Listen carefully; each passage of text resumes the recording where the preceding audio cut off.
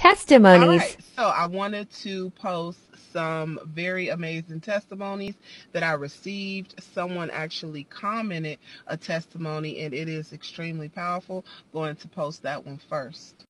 She posted this under one of my videos. She said, I originally posted today on your live um, that I have to have surgery tomorrow. I was originally told that it would be 10K from another doctor. She said, I started following you, started sowing. I since then was referred to another doctor and was told the amount would be 1200 I was happy um, because way more affordable. Um, so today during your live, the surgery center uh, called. She said, long story short, I qualify for them to cover expenses at a hundred percent. That is nothing but the goodness of God literally.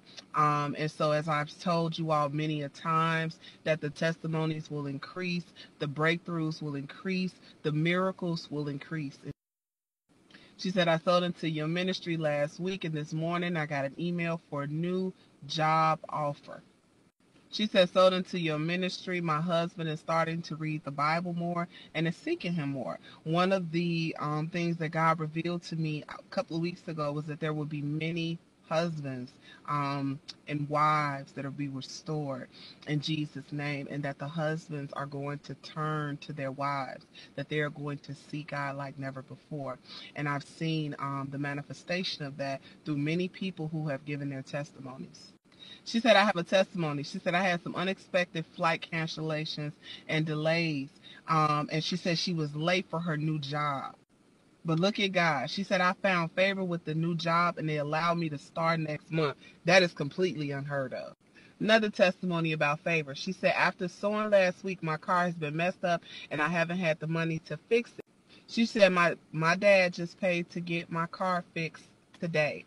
Um, so usually I go live on Mondays and Wednesdays mid afternoon. I'm Central Standard Time. So usually after 11:30, sometimes it may be 11. It just depends. This one says, I sold into you and I have a job interview Wednesday to work at a church.